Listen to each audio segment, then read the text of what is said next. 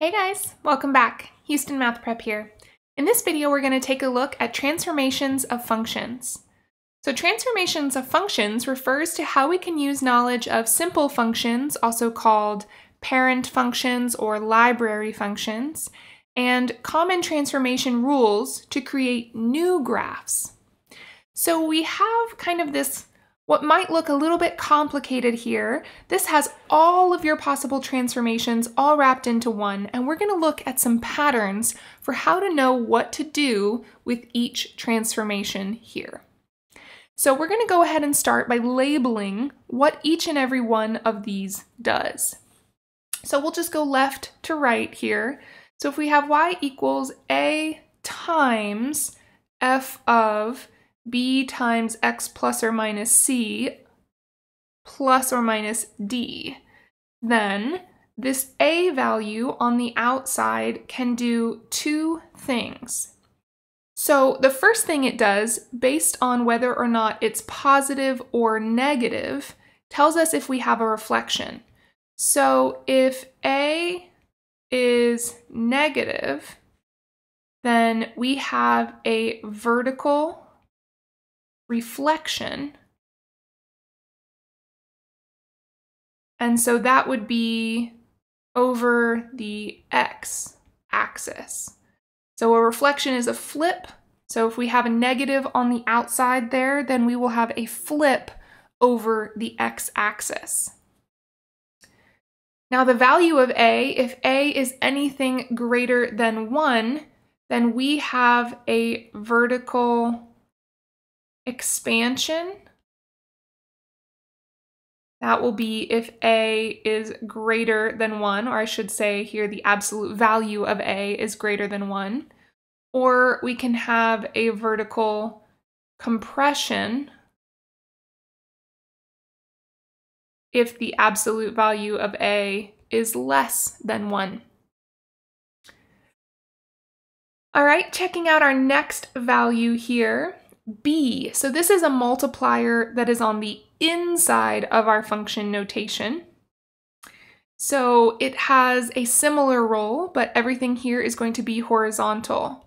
So here, if b is negative, then we will have a horizontal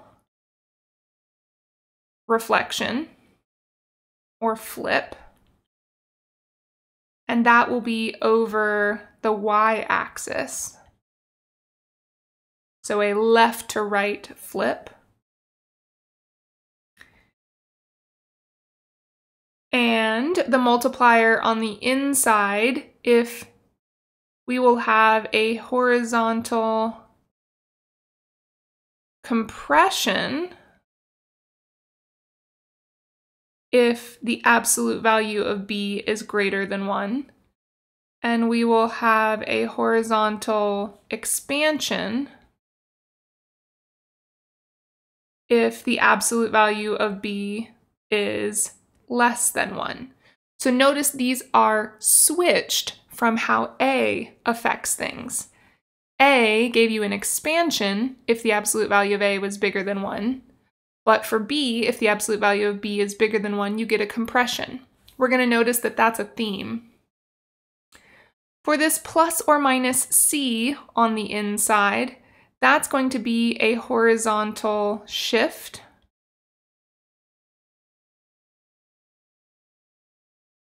If it is plus c, so if we have x plus a value, then that is going to take us to the left. If it is minus c, that is going to take us to the right. So it's kind of opposite of what you might imagine. Plus, we usually think moving us to the num on the number line towards the right, but it's going to go opposite. And minus would normally make us think left, but it's going to go opposite. Okay, and then finally, plus or minus d. This one is going to be a vertical shift. If it is plus D, that's going to move us up. If it is minus D, that's going to move us down. Okay, so these actually fall into some pretty predictable patterns, and we have some quick and easy ways to remember those patterns. So these transformations can broadly be categorized into two groups. Things that affect our graph horizontally, so left to right changes, and things that affect our graph vertically, up and down changes. And we have these mnemonics IHOD, and over to help us remember which is which. So for horizontal transformations, we're going to find those on the inside of our function notation. They are going to change our graph horizontally. They are going to be the opposite of what you might think. So that's the whole plus moves you to the left, minus moves you to the right. It's kind of opposite of what it looks like. And because we're moving left to right, messing with our x values, that is going to affect the domain of our function. So anything that's on the inside changes our graph horizontally. It does the opposite of what it might appear and it affects the domain.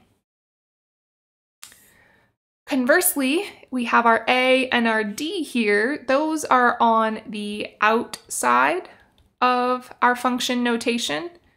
They are going to affect our graph in a vertical fashion. They are going to do exactly what they appear. And because they're vertical, affecting y values, they are going to affect our range.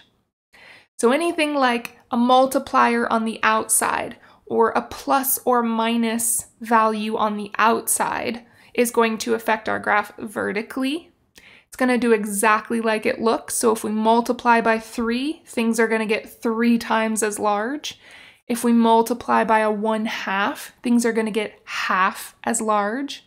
If we have plus 3 on the outside, that's going to move our graph up 3 and those are going to affect our range. So think of the mnemonics IHOD for inside horizontal opposite domain and over outside vertical exactly range. All right, guys, that does it for our introduction to transformations of functions. Stay tuned for some example videos coming next.